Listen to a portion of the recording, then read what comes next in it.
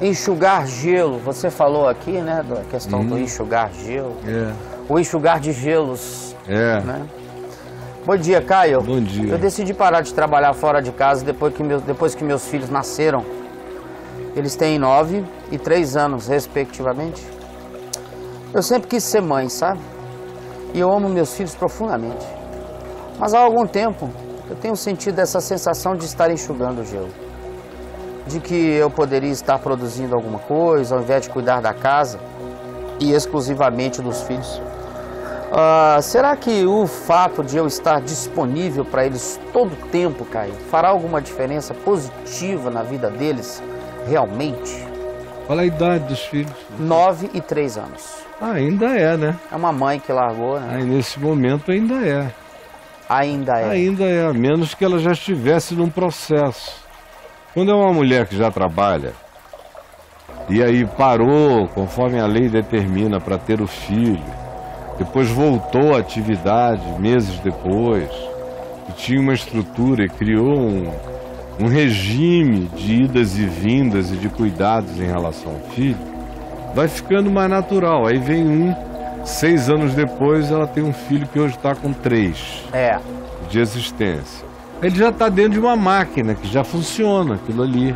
Dentro de um processo Você já tem uma estabelecido. cultura. Claro. Agora, quando era totalmente diferente, ela era uma pessoa de casa, do lar, ficou grávida, teve o neném, cuida desse menino mais velho há nove anos em casa, agora tem um outro de três, a quem ela está completamente dedicada. E de repente ela começa a se sentir na necessidade de outras completudes na vida. E faz isso abruptamente, normalmente fica um vácuo muito súbito. Então, se ela tem esse objetivo, ela tem que começar a se preparar agora para começar a implementar isso daqui a mais uns dois anos.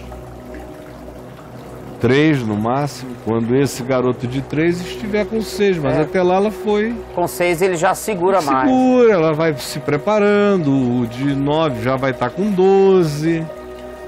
E eu tô falando isso só por causa do despreparo. Porque hoje em dia é normal você ir procriando sem parar de trabalhar, sem parar de estudar. Só usa os gaps legais que a lei oferece para aquele período mais do que necessário de gestação, de descanso gestacional, de tudo mais que sucede a isso. Então é só porque você não tem esse chão pavimentado é que eu estou dizendo, vá preparando o chão psicológico dos filhos, o seu, do seu marido, e vá se preparando para o mercado de trabalho, para que você não caia de paraquedas, para que você já chegue com alguma orientação. Mas não é porque você está enxugando gelo, porque cuidar de filhos nunca é enxugar gelo. É no sentido de que não tem sentido. Tem sentido. É repetitivo, mas tem sentido.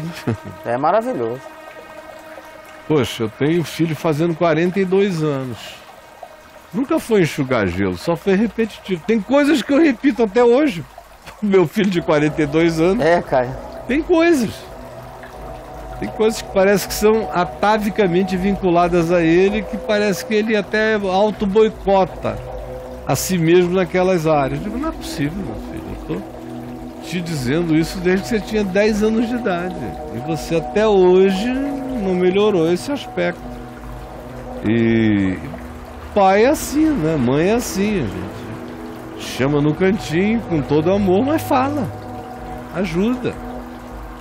Ou cuida do cara. Vai ser para sempre.